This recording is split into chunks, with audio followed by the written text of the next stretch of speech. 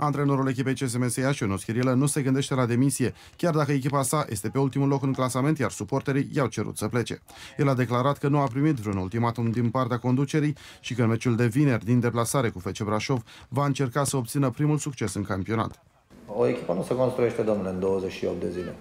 Mă, dar ați fost adus ca să aduceți puncte. Punctele vor veni ca urmare a, a muncii pe care o facem aici. Mergem cum am demonstrat în toate meciurile că încercăm să câștigăm. Nu cred că uh, ați văzut în uh, ultimile trei partide uh, meciul de cupă îl las la o parte, Iașu apărându-se vreun moment. După jocul de la Brașov, ieșenii vor avea două săptămâni la dispoziție să pregătească următorul meci pe teren propriu cu FC Botoșani. Campionatul Ligii va fi întrerupt pentru partidele naționale în preliminariile campionatului european.